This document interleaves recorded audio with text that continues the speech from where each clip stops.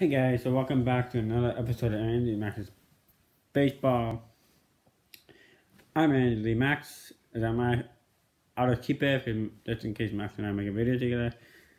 But I made a video yesterday, but I didn't upload it because I didn't, didn't like it. So, anyways, the Padres just made a trade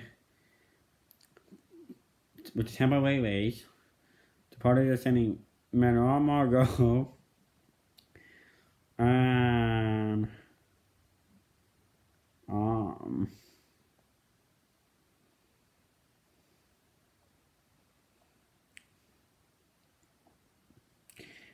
I'm catching outfielder prospect Logan Driscoll.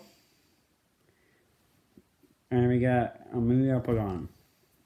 So, honestly, it's a great move by the Padres. Manuel, you know, a video I said yesterday, Manuel Margot was going to be a protected backup.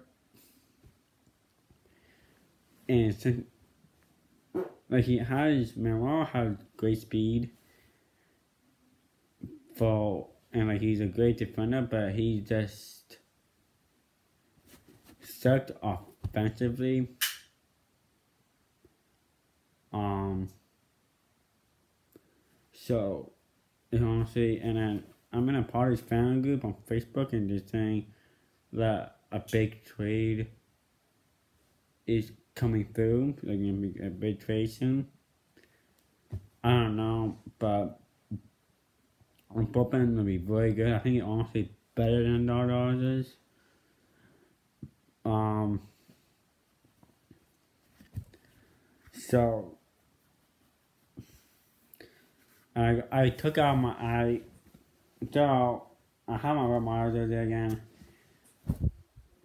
I'm gonna give Red this season a chance and see how he does. Um, I have nothing else to say. I so yeah. It's it for the Padres making another tracing. I'll make a video, but Go Padres.